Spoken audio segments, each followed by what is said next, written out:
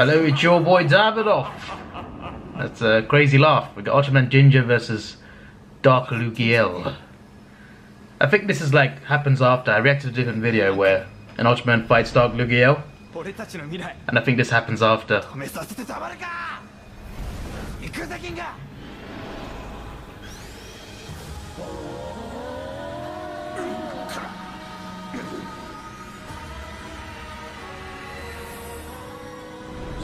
That music though, that music though.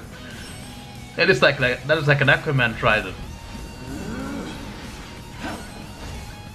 What's he gonna do?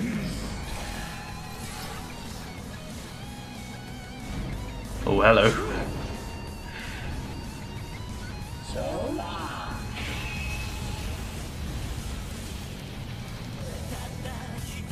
Okay.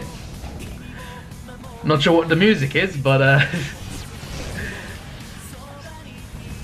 quite different this fight.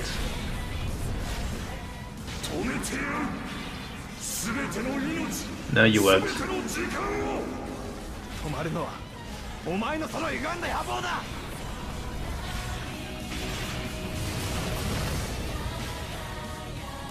Oh, here we go. okay, th th this fight is uh, I, I, I don't know what to think of it. I feel like I should see more. Oh, that was a good move. That was a good move. The video is only three minutes, so I'm, I'm kind of uh, intrigued on how it might end.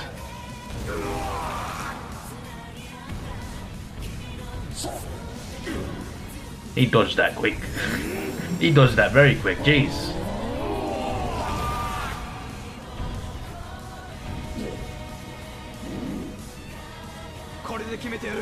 Yes, let's finish it.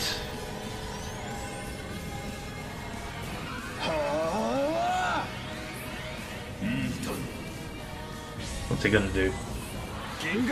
He's a cool looking villain, you know, Lugiel.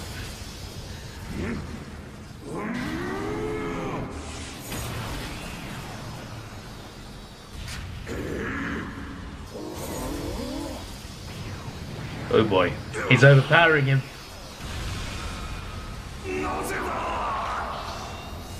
Because he's Ultraman.